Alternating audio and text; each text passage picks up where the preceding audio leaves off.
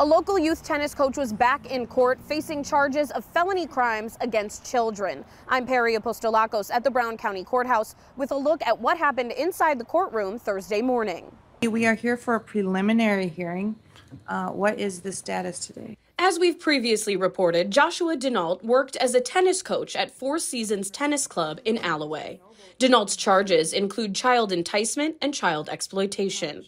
Investigators say he took videos up the shirts and skirts of underage girls during training sessions. No victims were present in the courtroom.